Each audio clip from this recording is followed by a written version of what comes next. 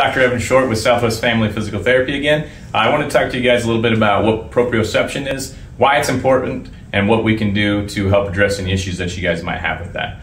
Uh, proprioception, in a nutshell, very simple terms, is your body's awareness of itself in space, in particular your limbs or your joints. So if somebody were to take my arm, move it around in space out here, I can match that on the other side just by feeling uh, the length of my muscles, what position my joints are in.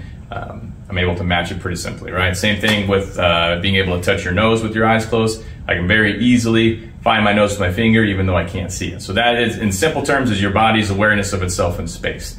Uh, it's important, uh, more important so when it becomes uh, sports or quick activities, or if you're reacting to being pushed or tripping or things like that. Your body has to react very quickly to those situations, um, and it has to get that information quickly from your knee up to your head and back down to your muscles to correct those motions.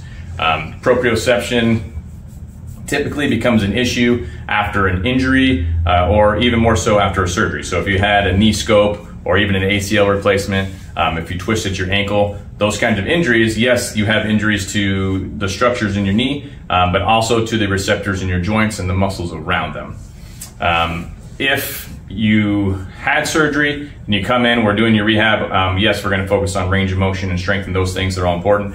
Um, but the, the, what I want to talk to you guys about today is proprioception. So if you went back to, to let's say you didn't have surgery, you just went back um, after tearing or sorry, rolling your ankle, um, and you went back to sports too soon, um, you would likely have a, a higher increased likelihood of rolling that ankle again if you haven't properly retrained the proprioceptors and those receptors in your joints and your muscles. Um, so when you come into therapy, yes, it's important to get strong. It's important to get all of your range of motion back. Um, but we'll do specific activities to increase your proprioception to help prevent those um, re-injuries from occurring in those quick type of situations.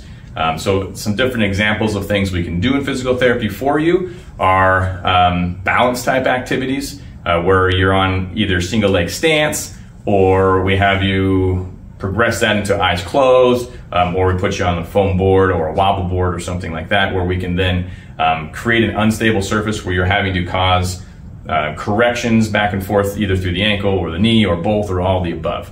Um, if you end up having surgery or you do injure yourself, um, please come on down, give us a call. Uh, we can kind of get you through the right channels, check some x-rays, make sure nothing's broken. Um, and then if you're an appropriate candidate for rehab, we can get you scheduled, get you evaluated, and get you through the proper channels to get you back on the sports field or wherever it is that you want to be.